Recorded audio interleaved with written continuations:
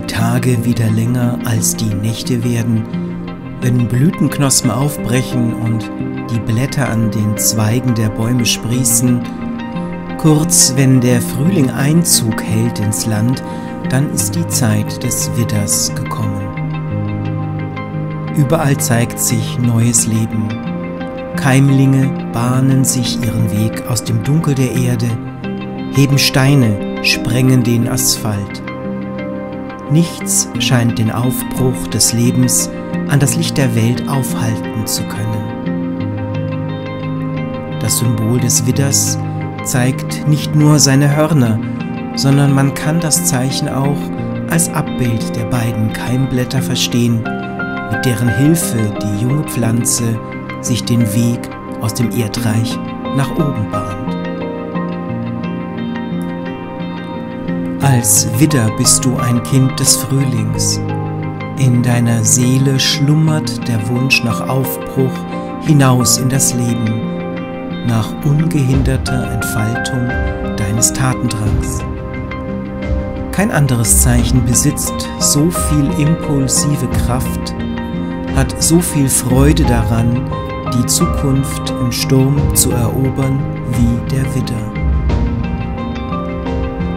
Nichts darf dich aufhalten, denn in dir brennt der Wille, vorwärts zu kommen und das Alte hinter dir zu lassen, so wie der Frühling die Tristesse und Kälte des Winters hinter sich lässt und ein neuer Lebenszyklus beginnt.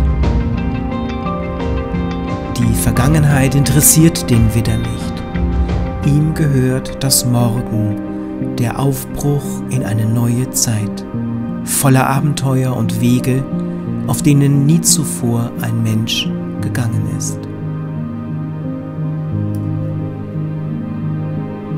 Als Widder geht es dir weniger darum, was du tust.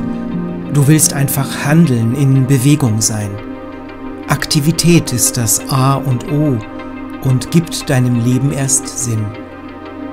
Insbesondere wenn du dich vor Aufgaben gestellt siehst, die Mut und Pioniergeist erfordern, beflügelt dich das ungemein.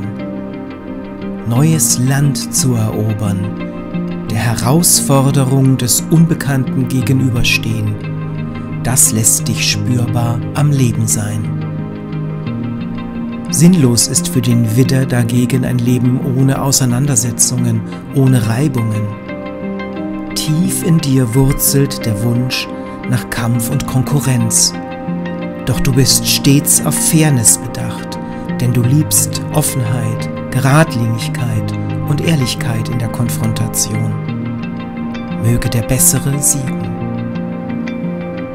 Der Erste sein, danach strebt der Widder instinktiv. Alles andere ist im Grunde nebensächlich. Als Widder bist du deshalb bereit, in kürzester Zeit deine Kraftreserven zu mobilisieren, um dich in der Welt gegen jegliche Konkurrenz zu behaupten.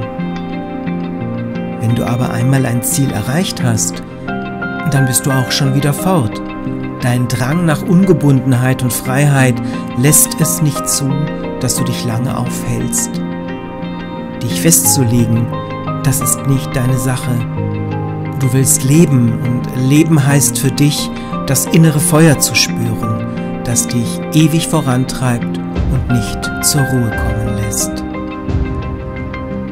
So groß das Energiepotenzial auch sein mag, über das du als Widder verfügst, in der Regel fällt es dir schwer, es angemessen einzusetzen. Dir fehlt die Ausdauer und vor allen Dingen die Planung, um deine Kräfte Schritt für Schritt zu entfalten.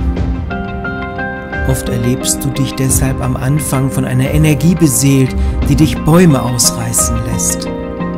Doch nur wenig später ist die Energie verbraucht und du hast keine Kraft mehr, dich um den Fortbestand der Dinge, die du in Gang gesetzt hast, zu kümmern. Deshalb ist es deine Lernaufgabe als Widder, dein Handeln zu planen. Du brauchst Ziele, die deinen Tatendrang kanalisieren und deinen Aktivitäten Sinn verleihen.